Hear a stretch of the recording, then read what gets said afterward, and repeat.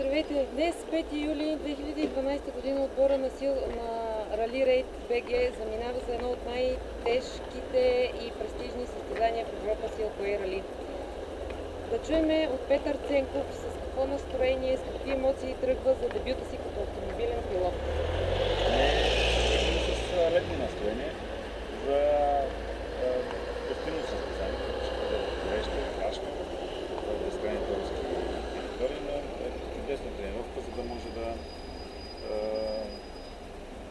усвоим правилно настройките на, на машината, с която ще караме, дай Боже, на Дакар 2013. Дано пожелаваме на сърце. По-пилотът Иван Маринов, най-добрият навигатор, ще се срещне за първи път с пустинните трасета. Какви са вашите очаквания?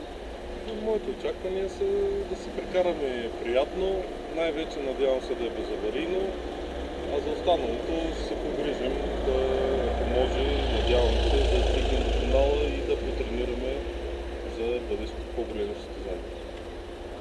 Пожелаваме ви едно много хубаво настроение, много успехи, стискаме ви палци, както народът казва, да ви върви по вода и се надяваме да се срещнем усмихнати съвсем скоро.